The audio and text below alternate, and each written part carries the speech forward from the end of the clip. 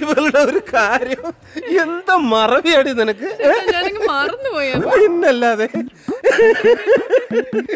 അയ്യോ. കിട്ടി. ഉണ്ട്. ഈ സാധനം ഉണ്ട്.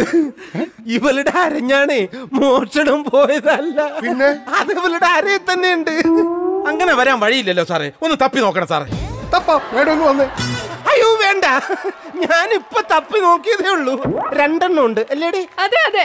ഇവൾക്ക് പണ്ടേ ഈ മറവി ഉള്ളതാ. ഇടയ്ക്ക് എന്നെ എവിടെയെങ്കിലും ഒക്കെ മറന്നു വെച്ചിട്ട് പോകും. അല്ലേ? അപ്പൊ ചന്ദ്ര സാറേ ബുദ്ധിമുട്ടിച്ചാൽ ക്ഷമിക്കണം. ഞാൻ ഈ കേസ് പിൻവലിച്ചു. എനിക്ക് ഒരു പരാതിയുമില്ല.